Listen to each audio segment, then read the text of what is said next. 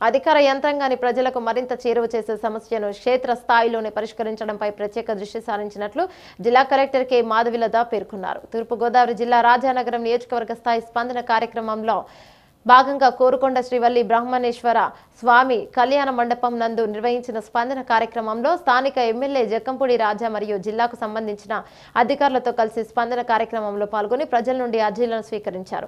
సందర్భంగా collector K. Madhavi Latha మాట్లాడారు. గతంలో తూర్పుగోదావరి జిల్లా మరియు పశ్చిమ గోదావరి జిల్లాలకు సంబంధించిన ప్రజలు జిల్లా కలెక్టర్ కలవాలంటే ఏవో ప్రయాసాలు పడి కాకినాడ ఏలూరు వెళ్ళవలసి వచ్చేదని నేడు ఆ పరిస్థితికి పూర్తిగా భిన్నంగా జిల్లాల వ్యవస్థీకరణలో భాగంగా మెరుగైన పాలన అందించాలనే లక్ష్యంతో ముఖ్యమంత్రి జగన్మోహన్ రెడ్డి వివిధ జిల్లాల విభజన చేయడం జరిగిందని అందులో భాగంగానే నూతనంగా ఏర్పడిన తూర్పుగోదావరి జిల్లాలో ఉన్న ఏడు నియోజకవర్గాలకి అనుసంధానంగా రాజమహేంద్రవరం బొమ్మూరులో కలెక్టరేట్ ఏర్పాటు చేయడం జరిగిందన్నారు. అంతేగాక తూర్పుగోదావరి జిల్లాలో ఉన్న ఏడు నియోజకవర్గంలో ప్రజలకు మరింత చేరువవ్వాలని మరిన్ని సౌకర్యాలు కల్పించాలనే లక్ష్యంతోనే ప్రతి నియోజకవర్గ మండల కేంద్రాలలో స్పందన కార్యక్రమాన్ని ఏర్పాటు చేయడం జరుగుతుందన్నారు.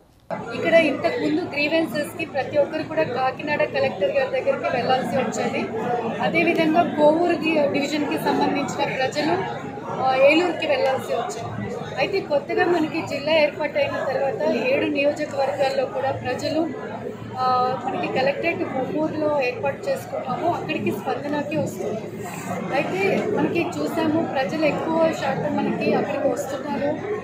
మెయిన్ మనకి పెన్షన్స్ కానీ ల్యాండ్ ఇష్యూస్ కానీ ఇలా కొన్ని సమస్యలతో మనకి కొవ్వూరు కలెక్టరేట్కి వస్తున్నారు కాబట్టి మనమే నియోజకవర్గాలకి వెళ్ళి కలెక్టర్ డిస్ట్రిక్ట్ అడ్మినిస్ట్రేషన్ వెళ్ళి అక్కడికి ప్రజల సమస్యలు స్వయంగా తెలుసుకుంటే ఇంకా బాగా ఉంటుందనే ఉద్దేశంతో ప్రతి నియోజకవర్గంలో కూడా స్పందన ఏర్పాటు చేసుకోవడం జరుగుతూ ఉంది.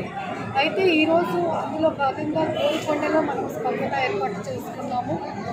ఇక్కడ మనకి ముఖ్యంగా ఈరోజు పెన్షన్ సమస్యలు కానీ ల్యాండ్ ఇష్యూస్ అదేవిధంగా కొంతమంది రైతులకి ఇరిగేషన్ ఇష్యూస్ మెయిన్గా ఇక్కడ ఎక్కువ వచ్చాయి. అదేవిధంగా కొంతమంది రైతులకి ప్రైవేట్ కంపెనీస్ సీడ్ ఇచ్చారు. ప్రైవేట్ కంపెనీస్ వాళ్ళు వాళ్ళకి కాంపెన్సేషన్ ఇవ్వలేదు. ఇలాంటి సమస్యలు కూడా వాళ్ళందరూ వచ్చి తెలియజేయడం జరిగింది అయితే ఇప్పటి వరకు మనకి సుమారు ఎనిమిది వందల యాభై అప్లికేషన్స్ వచ్చాయి. స్పందన అప్లికేషన్స్ ఇవన్నీ కూడా రిజిస్ట్రేషన్ చేయించి సంబంధిత అధికారులకి పంపించి వాళ్ళకి నిర్ణీత సమయంలో కొన్నిటికి పదహైదు రోజులు ఉంటుంది కొన్నిటికి ముప్పై రోజుల కాల వ్యవధి ఉంటుంది. అయితే ఒక నెలలో ఈ సమస్యలన్నీ పరిష్కార దిశగా తీసుకెళ్ళి ప్రజలకు న్యాయం చేయడానికి ఈ నియోజకవర్గ వారీగా స్పందన అనేది ఏర్పాటు చేసుకోవడం జరుగుతుంది. మనకి ఫ్రెండ్స్ ఫ్లడ్స్ నేపథ్యంగా పదకొండు వందల మందిని మనం గుర్తించాము.